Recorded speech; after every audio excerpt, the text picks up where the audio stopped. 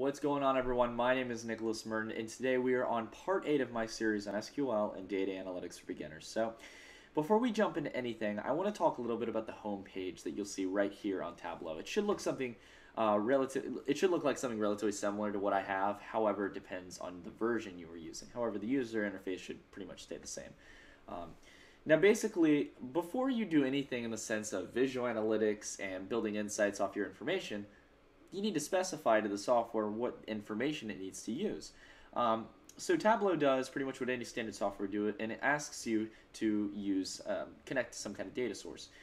And the two types that there are is a file or server. And there's a, a variety of those types. So, for example, the most predominant being an Excel file uh, or text file, or the dozens that they offer um, in the sense of a file.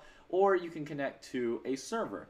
Uh, now, what's really cool is you guys might start saying Microsoft SQL Server, MySQL Server, and though we're not connected to a server, I just want to specify with you all, yes, you can connect with your PostgreSQL server. So if you guys want to start, you know, experimenting and connecting with that, that's more of an intermediate thing, and I'm not going to be covering that in this tutorial. However, you guys are welcome to go out and try and do that. So it's really fun. You can you can utilize both of your skill sets and put them together.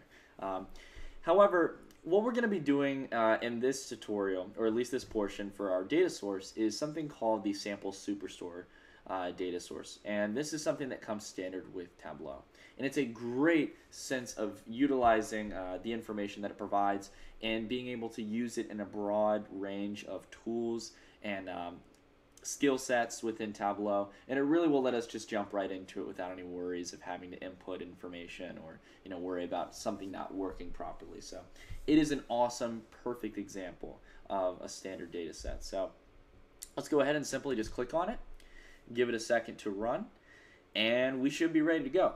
Okay, so once it's done for you guys, uh, I want to start covering the most basic thing that you guys can learn about in Tableau. And uh, I think this applies a lot with most visual softwares. But they make it very clear and easy to understand um, right off the bat, and that is the difference between dimensions and measures. So I know there's probably a lot on the screen. It might look a little overwhelming, but don't worry, guys. We're going to break through it, uh, and we're going to cover the most predominant important thing right off the bat.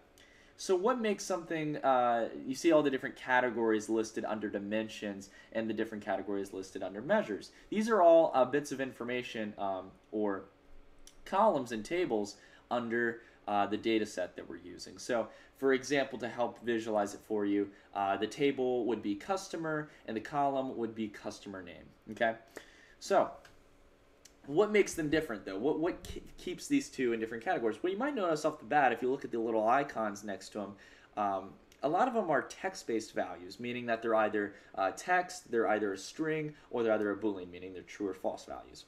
Whereas if we look at measures, we see the hash mark, meaning that it's most likely a numerical value. So, in most cases, guys, what you're going to find is that dimensions usually go on the column aspect, much like they would in a table. And the measures usually will go on the rows, and they're more of the numerical measures that are going to be on the y-axis. Uh, so, let's go ahead and see what we can do right off the bat in applying these. So what's really nice about Tableau is that we can go over here. Well, let's say, for example, we're going to do, uh, we want to see sales over time. So, of course, the value we're going to need for the column uh, in our dimension is order date. So we're just going to click on that. Okay. Now it's broken it out into years here. Before we even touch our measures, I want to draw uh, draw that out a little bit. I think that's a little. It's just going to be a really jagged line of the total sum of each year, um, and I don't really want to do that. So let's go ahead and click right here, and instead of year, let's do week number. Okay. So it's still going to look kind of weird at first because we haven't applied our measure. And we're going to go ahead and double click on sales. And there we go. We've already produced a line chart that displays the information of sales over time. And we can see that there's you know some spikes from time to time, but generally speaking, uh, nowhere past 35,000.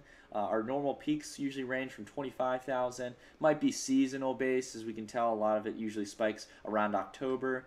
Um, but yeah, this is a very simple way of using both dimensions and measures. And we can start to see our data come to life in this scenario. So it's kind of the fun, rewarding part. And this is honestly just the beginning, guys.